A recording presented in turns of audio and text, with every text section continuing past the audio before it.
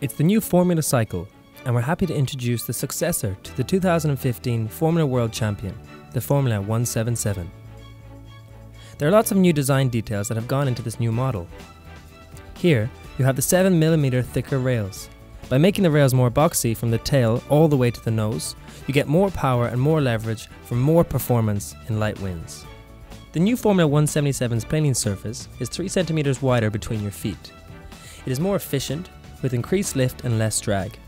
Again, there's more performance on tap for light winds.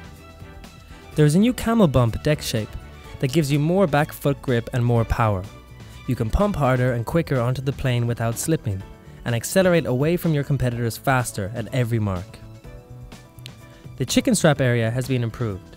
The new shape allows more feet positions and is more comfortable on the downwind run. You've got more control and a better lift.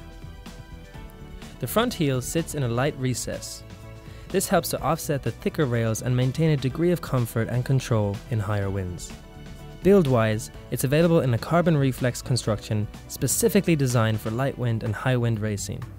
The bottom has a unidirectional ultra lightweight carbon construction that provides the stiffness and crispness.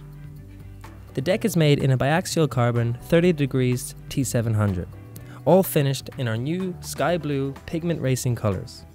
With this new board, we really look forward to this two year cycle.